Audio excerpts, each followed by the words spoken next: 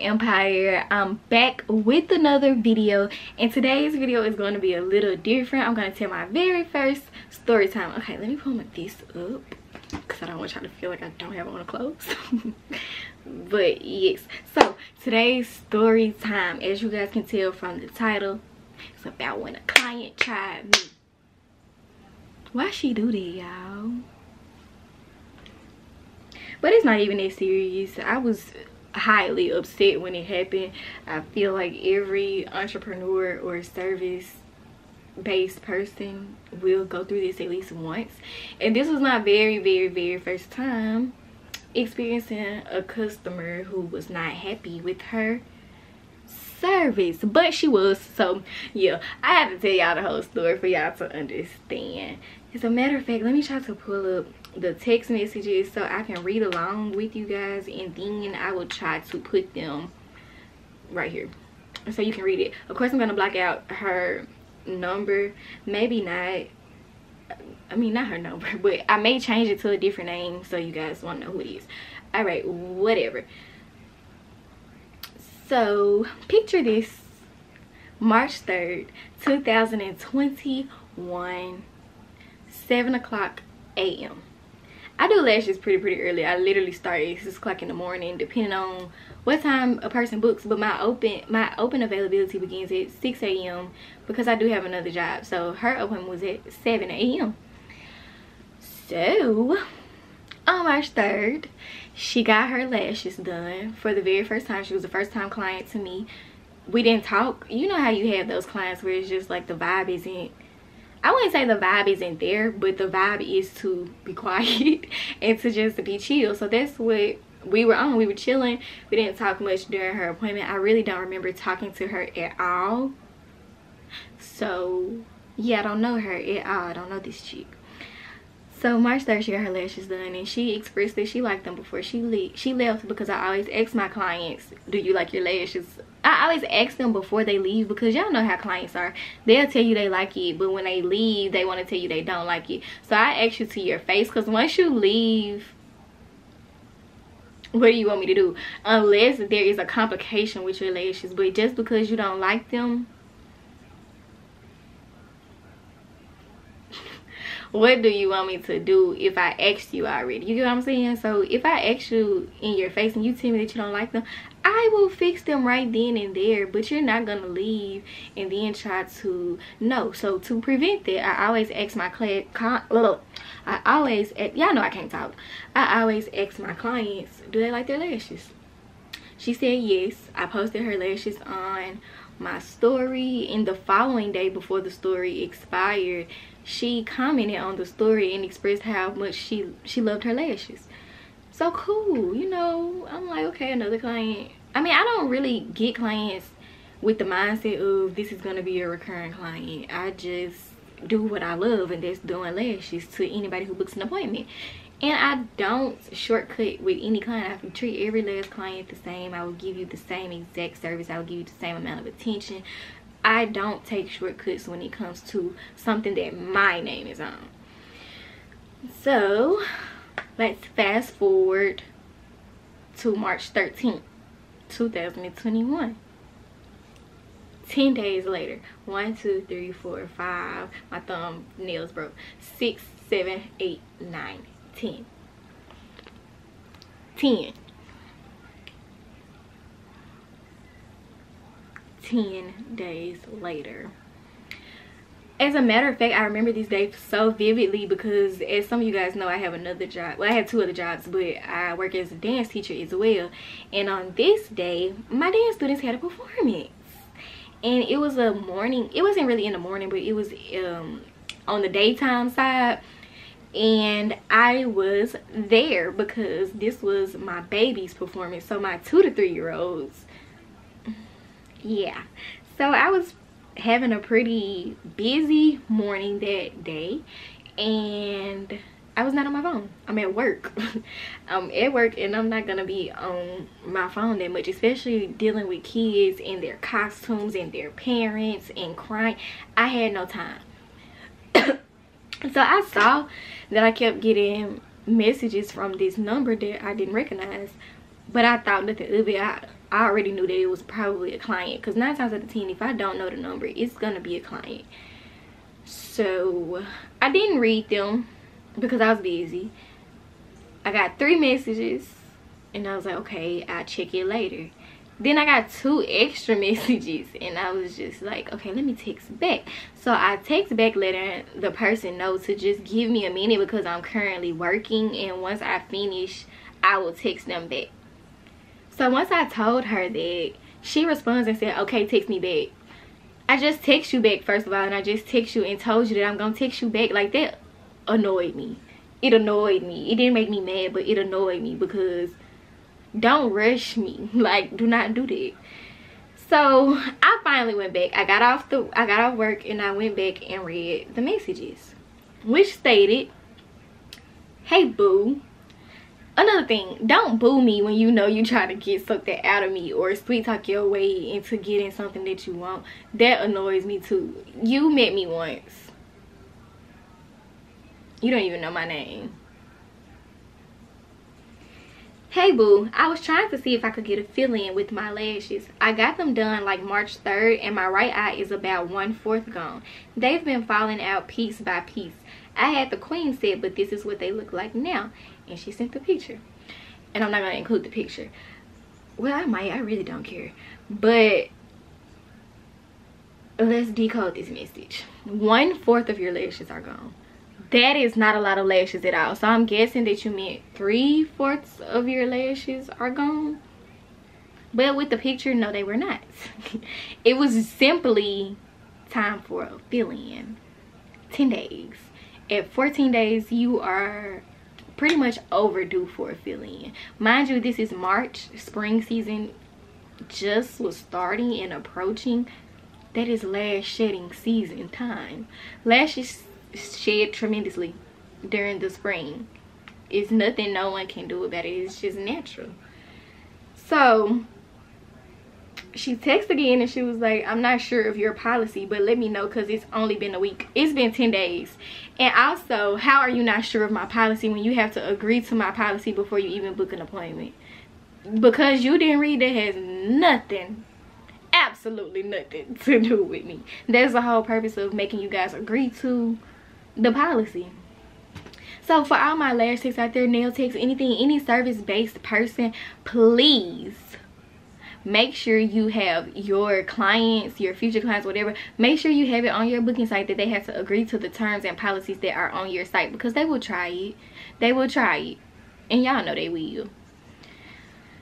So i text her back once i was free and i said okay it's normal. It's just time for a fill-in because you're in your second week with them which is the time for a fill-in. So yes also you have to be mindful that we are approaching spring so lashes are shedding more than they normally would so don't be alarmed. It's very expect expected. She takes back and she said yes i know. I've had individuals multiple times before so i'm aware but there's no way in 10 days lash my lashes should be this skim pissed off. You pissed me off right then and there. Because if you get individuals which lashes are not individuals their extensions. If you've gotten them multiple times before why didn't you go to the person who typically does them? That was red flag number one because most people who get a service done they go to a specific person. The only time they'll go to someone else is if that person is not available and most of the time people are loyal loyal to who they go to so they won't even do that. Red flag number one. Number two how are you gonna tell me there is no way that your lashes should be that skimmed in 10 days? Mind you she sent the picture so they wasn't that skimmed. Are you certified or me? Because if that's the case what you coming to me for so I text back and I said there definitely is. You have four more days until you're past due for a fill-in. My policy states that if you have complications within 48 hours, contact me immediately because there will be something wrong on my part. At 10 days, I don't know if you've been washing your lashes and brushing them or keeping them up as you're supposed to. What is it that you're wanting me to do? So I had to ask her that at the end of the message because from her first message, she literally asked if she could get a fill-in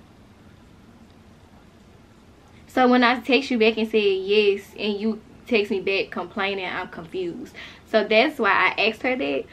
And she said, okay, so basically what I'm saying is, can I come by later for you to fill in my right eye complimentary? Let me finish the message. Because my left eye, hold on because my left eye is good and full. It's my right eye. It looks so naked. So therefore you can tell it's not me maintaining them. And you are right. You would know. But i'm also a paying customer that didn't have any issue within 48 hours. But if your policy says within two weeks and i'm at 10 days then there's something you could you could that i shouldn't even have to saying as a customer with the little i'm gonna put the emoji. Well you see missy and she sent more pictures. Then she sent more messages and said i'm not tripping and i'm not new to this at all. And you said weather. I don't think weather has anything to do with it because i've been out of town nowhere near spring weather so that's for sure not an excuse. Baby spring is a season. How can you not be around spring season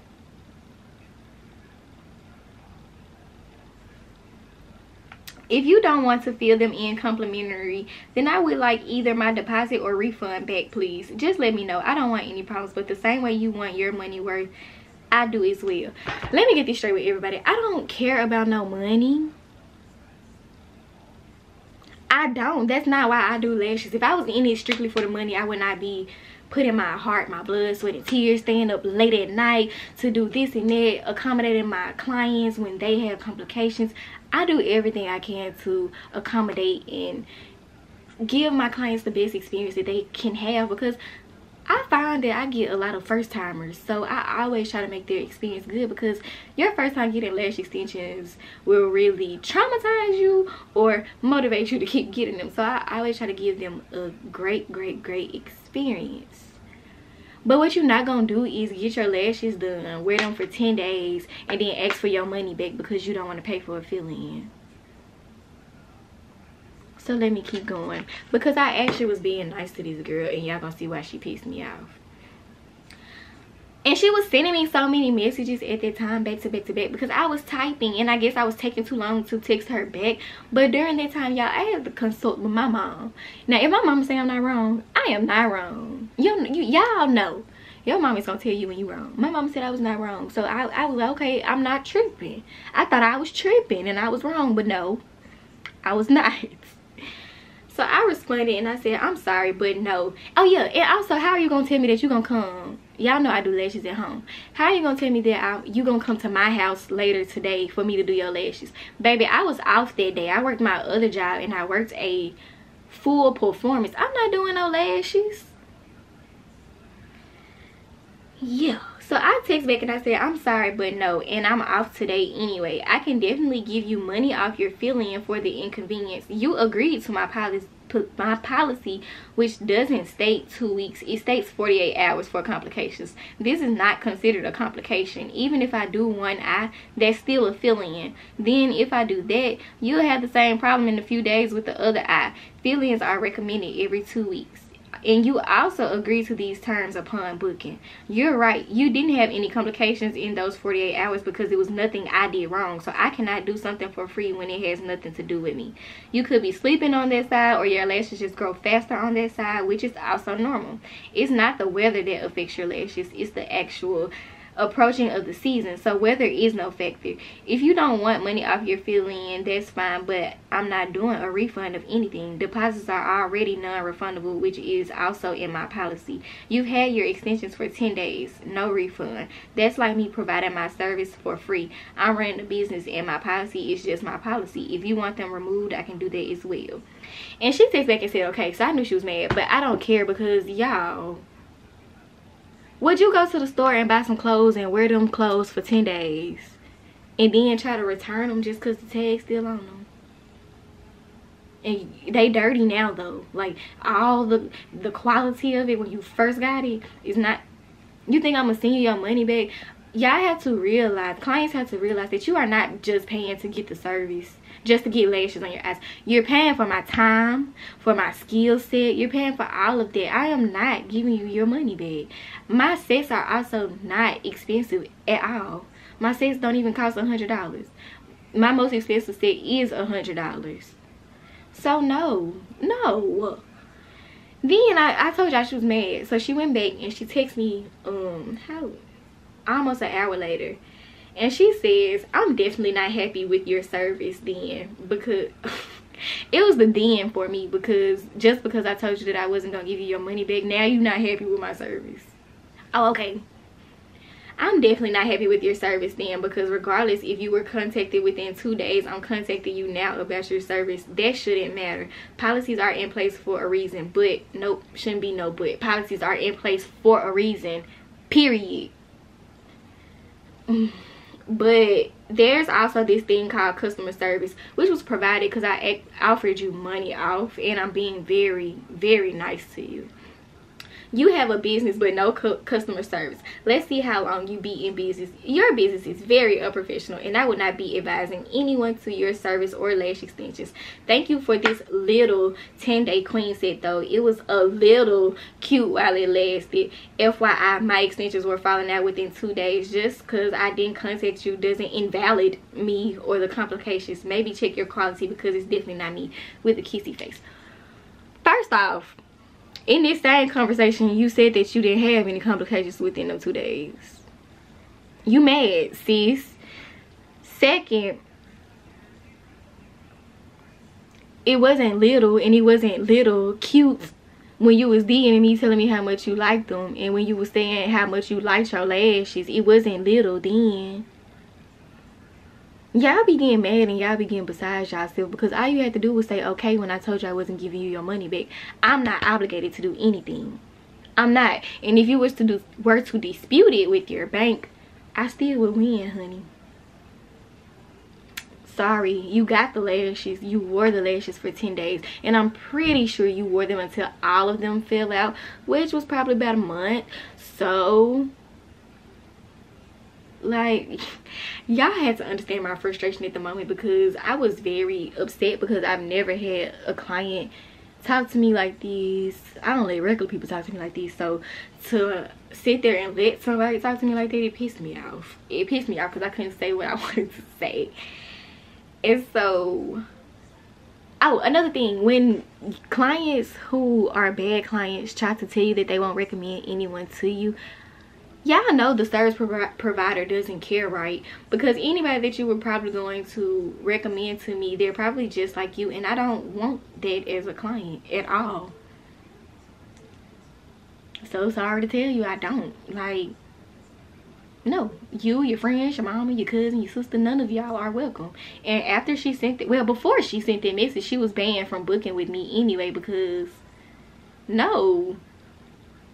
Mm-mm so I text back and I said, just because you didn't get the outcome you wanted doesn't make me unprofessional. My policy is my policy. Have a great day. There are several great techs in the area. Please take your business elsewhere. And I blocked her because had she said anything else to me, um,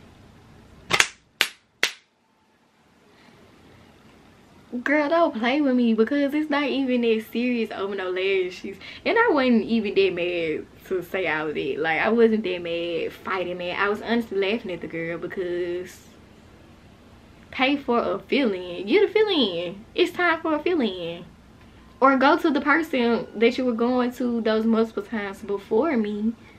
And they'll last. Like you say they be lasting girl. Home girl this y'all already recorded this story. So if i my energy seem a little down or i seem a little weird it's because i literally already recorded this video. But that's it you guys. That is the story time about the first client i had who had a bad experience. And to any techs out there do not let anything like this discourage you because like i said people just be mad. They just be mad.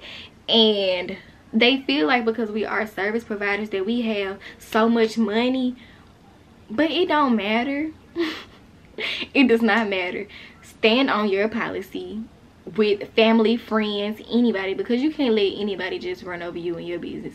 Stand on your policy, 10 toes on it, please.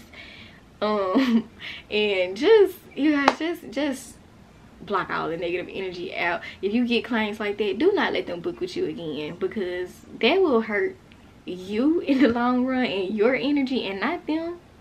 Block them wait that's all you guys i can't wait to see you guys in my next video don't forget to like comment and subscribe and click that bell notification so you don't miss anytime i post a video and i will see you guys in the next one